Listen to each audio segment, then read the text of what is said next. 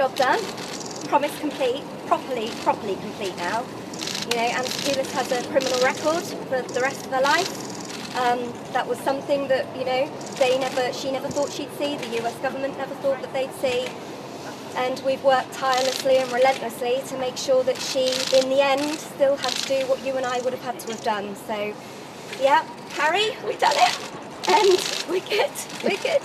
Are you happy with the sentence?